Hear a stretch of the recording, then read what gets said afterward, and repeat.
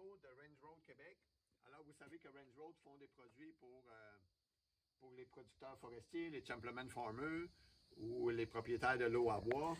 On fait des processeurs à bois, des moulins à scie, des remorques pour les VTT, puis on fait des chippers à bois, des, euh, des, euh, des déchiqueteuses à branches qu'on fait. ce modèle-là, il existe depuis euh, déjà 5 ans. Il a été amélioré un petit peu avec les années. On a élargi les roues. On a mis des roues de 4 roues. Euh, il est vraiment, ce modèle-là, il est vraiment très maniable pour quelqu'un qui l'amène dans, sa terre à bois, les rablières. Une fois qu'il est décroché en main, on peut le déplacer, même si la machine elle pèse euh, 400-500 livres. Euh, moteur 14 forces avec démarreur électrique, arrêt d'urgence, facilement transportable. Puis, depuis six mois, on a un nouveau modèle qui est le 430. La raison du milieu, surtout aujourd'hui, c'est pour vous expliquer la différence un petit peu. Le 430, même s'il a la même force moteur, il va être capable d'aller chercher des branches un peu plus grosses. Puis on parle vraiment de chippeux à branches, là, pas à bio. Il faut oublier les gros bio avec des, des chippeux qui marchent avec des moteurs à essence. Là, on n'est pas à tracteur à PTO.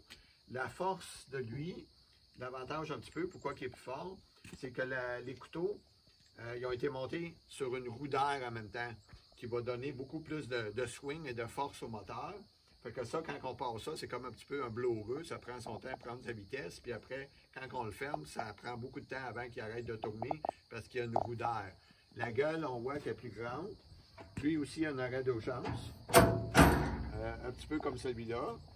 Euh, il est fait un petit peu plus, euh, comment dirais, euh, moins pour aller dans le bois, parce qu'on a des ailes qui peuvent être un petit peu acc- accrochants. Fait que quelqu'un qui se déplace toujours sur un terrain ou sur des chemins, sans nécessairement euh, fait pour aller sa route, ben, il va peut-être choisir ce modèle-là. Dans ce cas ici, ben, on sait que lui, déjà, il a fait ses preuves avec les années.